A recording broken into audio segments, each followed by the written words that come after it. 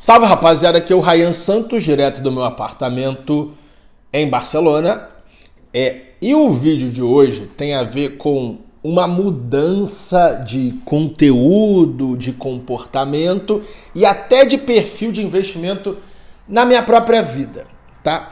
Ontem eu fui jantar aqui em Barcelona com um grande amigo meu chamado João Hashtag, tá? João Hashtag é dono de uma das maiores empresas de tecnologia e educação do Brasil, a Hashtag Treinamentos, tá? E a Hashtag Treinamentos, ela nasceu junto com a Kobe, a minha empresa, e nós, durante quatro anos, nós éramos, tipo, empresas gêmeas, irmãs gêmeas. Uma ajudava a outra é, e a crescer e a, tipo, com relacionamentos aqui e ali e tal. Nos distanciamos corporativamente depois que eu vendi aqui o Wi-Fi e parei de trabalhar, parei de crescer e tudo. Okay? Então fazia muito tempo que eu não falava com hashtag, só que é uma pessoa que eu, que eu uh, admiro muito. É muito porque ele veio de uma família que eu admiro muito. Tia Lúcia, o Roger, o, o, o pai dele lá de Brasília, que eu esqueci o nome, são pessoas muito íntegras, muito fodas. Ok? E o João Hashtag é uma daquelas pessoas que sentiam na pele uh, o meu posicionamento extremo, tanto batendo em bandidos, quanto envolvendo política no meu conteúdo. Ok? Ele era uma das, daquelas pessoas que diziam: Qual é, Ryan? Tu não precisa mais disso. Você já tá rico. Não precisa mais disso. Ryan, segura a onda aí. Tipo, ele passou anos assim, mas sempre respeitou o porquê que eu estava fazendo aquilo. Beleza? Especialmente a parte de eu desmascarar bandidos da internet. Ontem, ele me elogiou, falou que, tipo, porra, você tá mexendo menos no Instagram, e a família dele falou, Ryan, você tá mais calminho, o que aconteceu, eu não sei o que. Resposta disso tudo é, virei pai de família. Isso me deixou muito mais calminho. Porque antes, a minha prioridade era eu mesmo, eu ficar mais rico, minhas empresas inflarem, ok? E eu vender empresa e tal, eu ficar mais rico, mais poderoso, mais famoso, com mais seguidores. Hoje, a minha única prioridade é a minha filha. Ok? O uh, que, que tudo isso tem a ver com o assunto de hoje que é, cara, eu tenho muito dinheiro investido em Petrobras. Apesar de ser a empresa do governo. E eu vou te explicar o porquê. Nessa jornada toda, de ser contra o sistema, de escancarar roubos, corrupções e bandidagens brasileiras, eu só me dei mal. Ok? Perdi um processo ou outro, ganhei a maioria, mas mesmo se eu tivesse ganho 100% dos processos, o tanto de dor de cabeça com o advogado que aquilo gerou a minha família e a mim, tipo, eu falei, caralho, que merda. Tá? E olha só, eu estava certo em todos eles. Incluindo as pessoas que me ganharam, sabem que são bandidas. Tá? Elas sabem que fizeram merda. E por uma parte técnica de um processo, de outro, não sei o que, ok, beleza. Vamos virar essa página. Rayan, por que, que você investe em estatal? Ok? Ó, minha, minha carteira tem. Vale Petrobras. Petrobras é muito mais estatal que Vale, mas a Vale mexe com interesse político pra caraca. Eu tenho Ecopetrol, que é a Petrobras da Colômbia. E é isso. Ah, e tem o Magalu. Qual é a minha tese? Quando você não consegue derrubar o sistema, junte-se a ele. Pode me chamar de hipócrita à vontade. Vocês viram, eu tentei pra caralho e me fudi pra caralho. Só que eu não quero terminar igual Gabriel Monteiro, Monarque, Alan Santos, que foram três Rayans que chegaram ao 100, não pararam no 90. Eu cheguei no 90 eu falei, caralho, se eu pular do 90 para o 100, vão me matar, ou vou matar alguém da minha família.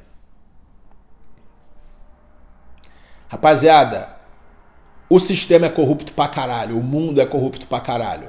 O Brasil multiplica isso por 10. Tá? Brasil é um lugar onde bandido se dá bem e cidadão do bem se, dá, se fode. Ok?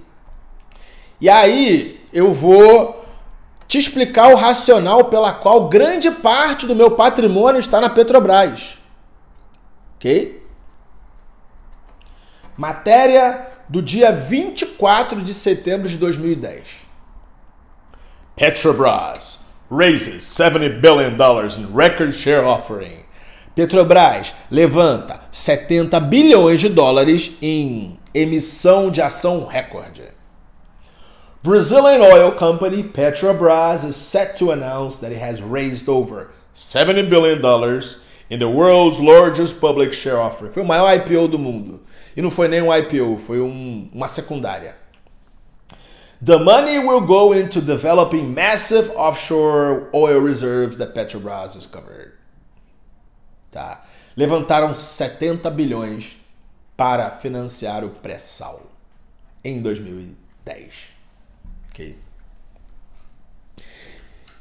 Você que manja de infoproduto e marca digital, isso aqui foi um lançamento.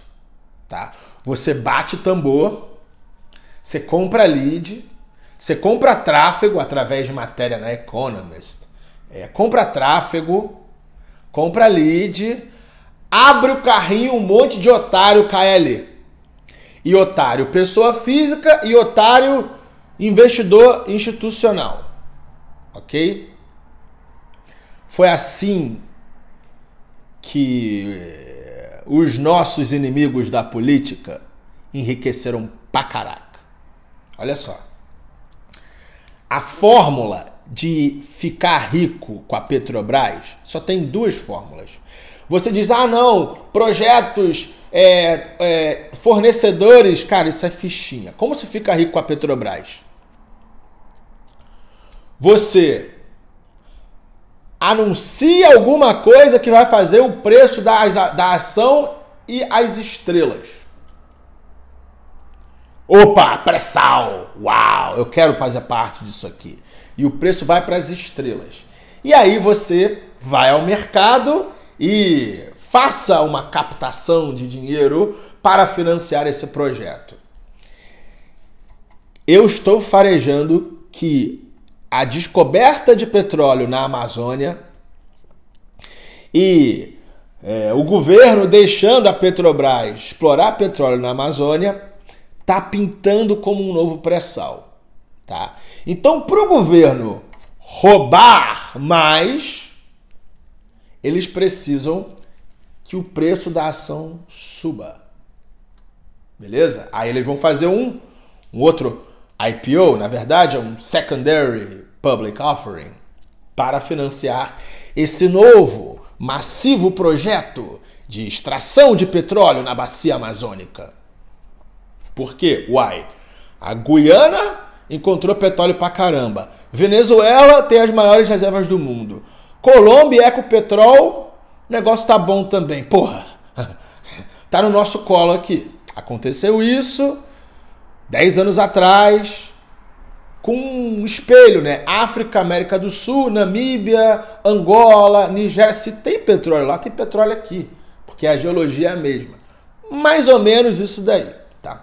A outra forma do governo roubar da Petrobras é através de dividendos. Então, eu me posicionando como acionista, eu vou me dar bem se eles pamparem o preço da ação para fazer outro lançamento de marketing digital, igual esse aqui de 2010, tá? Que está muito bem descrito no livro uh, no livro da Malu Gaspar, qual é o nome? Tudo ou Nada sobre o Ike. O Ike surfou exatamente essa onda aí de hype, de pré-lançamento, de rodar tráfego e comprar leads. Porra. Só que, cara, a Petrobras era o Érico Rocha, o Ike era o Ryan Santos. Petrobras ganhou muito, muito, muito dinheiro. O Ike, porra, aos olhos da mídia se fudeu, mas o Ike tá bilionário. Sendo o número dois. Mais ou menos isso. Então, a outra forma de do governo puxar muito dinheiro para ele é dividendo. Entendeu? E aí eu tô ganhando dividendo. Me dou bem quando o bagulho sobe e me dou bem quando a empresa paga dividendo. Então, a minha conclusão, Rayan, você é hipócrita. Eu era seu fã, agora você se entregou. Me entreguei. Me entreguei por quê? Gabriel Monteiro lutou até o final. Monarque lutou até o final. Alan Santos lutou até o final. Eu não quero terminar como eles. Ser um herói para o mundo. Na verdade, foram, foram heróis uh, momentaneamente, porque as pessoas já esqueceram do Gabriel Monteiro e ele está apodrecendo na prisão e certeza que estão botando no butico dele lá dentro. Não quero terminar daquele jeito, não. Agora eu tenho filho. Entendeu? Então, o que que eu. Eu contei isso tudo para você para te dar a seguinte dica. Você não vai conseguir mudar o sistema porque o sistema é muito corrupto. Você é muito pequeno para uh, mudar a natureza bandida do ser humano, especialmente o ser humano brasileiro. Ok? Então, seja flexível. Ao ponto de, porra, beleza. Se está acontecendo isso, isso, isso, eu vou me posicionar aqui. Então, ao invés de você bater de frente, você se posiciona. Pelo menos se posicionando, sabendo ler as tendências, sabendo ler a geopolítica, sabendo uh, ler comportamento de pessoas, especialmente como as pessoas do mal se, se, se comportam. Ao invés de você uh, ficar apontando o dedo e mexendo com gente do mal que pode fazer coisa muito ruim para você e para sua família e não vai ter nenhum advogado para te proteger, ao invés de fazer isso, você se faça de morto para comer o cu do coveiro. Tá ligado? Se faça de morto para comer o cu do coveiro. Vou contar uma uma particularidade para você. Eu tô caladinho já há um ano. Ok? Eu, sem fazer nada, eu ganhei mais dinheiro do que quando eu ficava batendo, apontando o dedo em bandido. Por quê? 2000, depois da venda da QIFI, 2022, 2023, eu só fiquei estudando geopolítica, olhando o comportamento de pessoas, principalmente dos líderes mundiais, e posicionando os meus ativos ali. Porra, tá tendo um, uma guerra na Ucrânia e os BRICS estão se fortalecendo, pum, petróleo. Ah, mas o Bolsonaro vai perder, pum, Petrobras. Ah, mas isso aqui vai acontecer, pum, Magalu. E eu ganhei muito mais dinheiro do que eu ganharia vendendo curso e batendo de frente com um bandido na internet, tá? Me fazendo de morto pra comer o cu do coveiro, tá? Quero saber a opinião de vocês. Pode, pode rasgar aqui embaixo assim, Ryan, gostava mais de você antes, os caramba. Quero saber a opinião de vocês nisso tudo.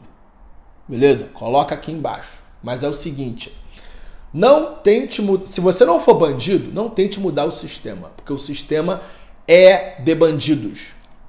O sistema promove bandidos. O sistema elogia bandidos. Se você não é bandido, você não vai dar uma de Monarque e Gabriel Monteiro, porque os bandidos vão te pegar. Tá? Então, dê um passo atrás, leia tendências, tá? E dance perante a música. Parece passividade, mas assim, você se fazer de morto para comer o cu do coveiro é a melhor estratégia, tanto de lifestyle, de vida, quanto de investimento que eu vejo hoje em dia. Ponto final, tamo junto, é só o começo, direto de Barcelona.